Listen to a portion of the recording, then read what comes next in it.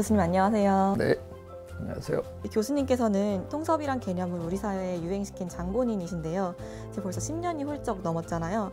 이제 그때 생각하시는 통섭의 개념이 그동안 어떻게 발전되어 왔는지 궁금합니다. 처음에 제가 그 통섭이라는 화두를 던졌을 때 참 많은 사람들이 저한테 그게 무슨 가당하기나 하냐 그런 반응들이었어요. 상당히 많은 비판을 받으면서 어, 시작을 했는데 통섭이라는 단어가 원래는 사전에도 안 나오는 단어였거든요. 지금은 뭐 그냥 일상 용어가 됐잖아요. 굉장히 많은 사람들이 편안하게 어, 융합, 통섭 뭐 이러면서 얘기를 하는 그 정도가 됐다는 것만 해도 저로서는 뭐 굉장히 성과라고 생각해요.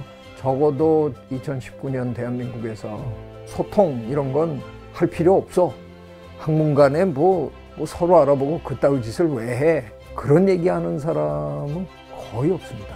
굉장한 발전이라고 생각해요. 아직은 우리가 통섭을 제대로 할 만한 능력은 아직은 제대로 갖추지 못했지만 점점 나아질 거고요. 문과, 이과 장벽이 없는 상황에서 공부하고 나오는 우리 아이들이 그 아이들이 한 20년 후에 우리 사회의 주역들이 될 거 아니에요. 뭐 그때쯤 되면 우리도 서양 못지않게 그 활발한 학문의 넘나듦이 있지 않을까. 별로 초조하지 않습니다. 그래서. 최지선 교수 하면 글로도 유명한데요. 글쓰기를 어려워하는 과학도들에게 조언을 해주신다면 어떤 게 있을까요? 과학자일수록 사실은 글을 잘 써야 돼요. 그래야 그 사람의 그 생각과 이론이 더 많이 알려질 수 있어요. 왜 이과면 글을 못 써야 되나요? 그거는 용서가 안 돼요. 저는 미리미리 쓰고 엄청나게 많이 고치거든요. 거짓말 요만큼 보태면 한 50번쯤 고쳤습니다. 그 정도 하면 읽을 정도의 글은 나오게 돼 있어요. 일찍 쓰고 100번 고쳤으면 반드시 읽을 만한 글이 나옵니다. 그게 안 되는 사람은 과학을 할 만한 지능도 안 될 거예요. 머릿속에서 다 써갖고 토해낼라 그러면 힘들어요. 쏟아내고 다듬으면 됩니다. 과학자가 될 만한 능력을 갖춘 사람이면 글을 못 쓸 수 없습니다. 그건 핑계입니다. 모든 과학자들이 다 쓸 수 있을 거다라는 게 제 주장입니다. 저희 이번에 새로 도입된 질문 시스템인데요. 좋아하는 사람이나 물건에 대해 묘사해 보시오. 야, 뭐 이런 게 있어. 그 묘사하라니까 요즘 흔히 TV에서 많이 쓰는 말로는 이게 성대모사잖아요. 제가 아마 대한민국에는 저 같은 성대모사 하는 사람이 없을 텐데 제가 물개 소리를 흉내를 냅니다. 미국서 강의할 때 우수 강의자 상 받고 싶어서 별짓을 다 했어요.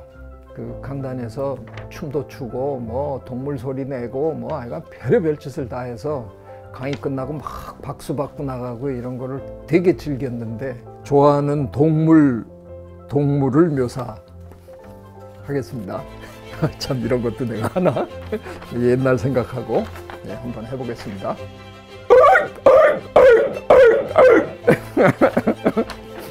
이게 비결이 뭐냐면 소리를 들이마시면서 소리를 내는 거예요. 수족관에 가서 물개들이 있는데 해봤어요. 다 따라하더라고요. 난리 났어요. 그래서, 그래서 이게 분명히 저 비슷한 소리라고 제가 확신합니다.